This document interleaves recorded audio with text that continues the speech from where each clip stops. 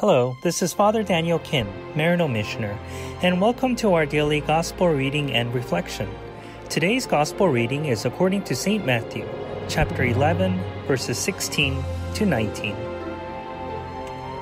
Jesus said to the crowds, To what shall I compare this generation? It is like children who sit in marketplaces and call to one another, We played the flute for you, but you did not dance.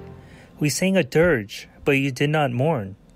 For John came neither eating nor drinking, and they said, He is possessed by a demon. The Son of Man came eating and drinking, and they said, Look, he is a glutton and a drunkard, a friend of tax collectors and sinners. But wisdom is vindicated by her works. The Gospel of the Lord. Praise to you, O Lord Jesus Christ. But wisdom is vindicated by her works. The original language that the Gospels were written in was Greek, and in Greek, the word for wisdom is Sophia. Jesus, the second person in the Trinity, is wisdom incarnate, and the third person, the Holy Spirit, is often referred to as Sophia, i.e., wisdom, in the Gospels. So this denotes that the Holy Spirit can be personified as a she, as Matthew alludes to in today's Gospel. This is important to understand because both feminine and masculine energies are crucial for the building of the kingdom of God, let alone life.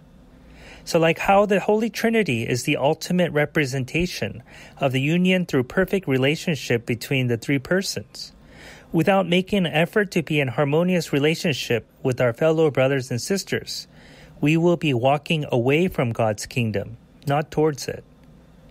In the harsh judgments we make towards others, we not only act unwisely, but denigrate the loving image and likeness of God that each and every one of us are made in. So, looking to the Holy Spirit, may we be ever guided by the loving wisdom that she imparts, especially during times of conflict and hardships. Thank you for listening to today's Gospel reading and reflection. Please be sure to tune in again tomorrow. Have a blessed and wisdom filled day. If you enjoyed today's gospel reading and reflection, please make sure that you subscribe wherever you're listening to podcasts. Also, if you know somebody who may find value in today's reading, please make sure that you share it with them. To learn more about how you can support the work that Maryknoll does around the world, please visit us at maryknollsociety.org. And if you're interested in subscribing, to our online magazine, please feel free to visit us at maryknollmagazine.org. Thank you once again for spending your time with us today, and God bless.